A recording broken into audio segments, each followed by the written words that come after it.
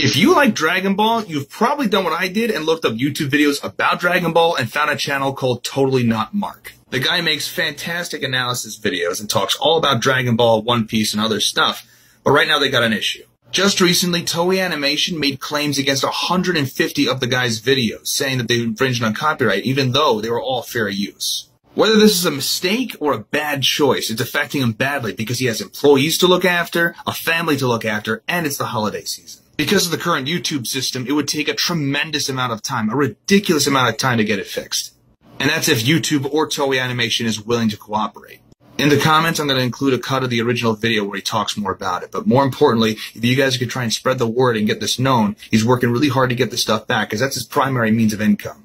We are all creators who love sharing what we love. And this guy has been playing by the rules. So for this to happen is completely unfair and unjustified. So please, if you can, share this around.